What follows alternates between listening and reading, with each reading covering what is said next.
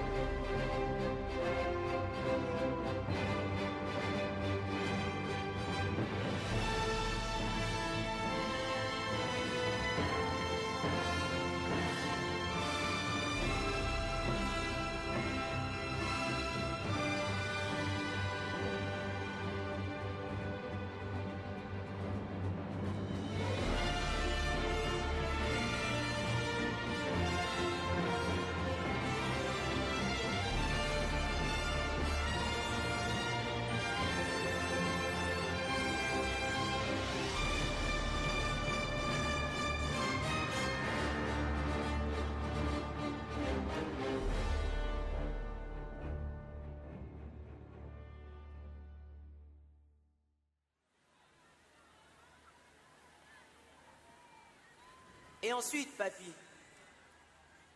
Ben, ensuite, nous avons construit une nation. Le nouveau Gabon.